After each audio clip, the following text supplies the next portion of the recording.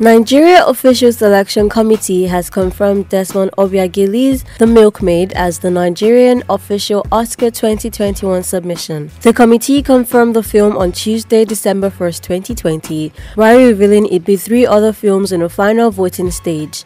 Contending films include EB The Birth, Voiceless, Eyimofe, Sanitation Day, and the Mo Abudu produced Oloture, which is currently embroiled in a copyright infringement scandal. The Milkmaid, which was written and directed by Desmond Ovbiagele, explores the harsh reality of insurgency in northern Nigeria using the story of two Fulani sisters, Aisha and Zainab, who get kidnapped by insurgents. It stars Antoinetta Kalunta, Maryam Booth, and Gambo Usman Kona.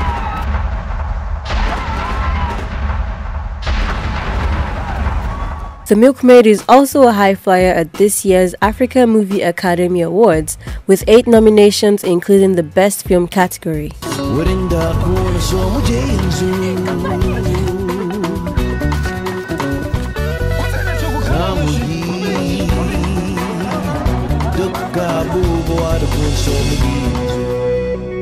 Hukuma yadda muke da.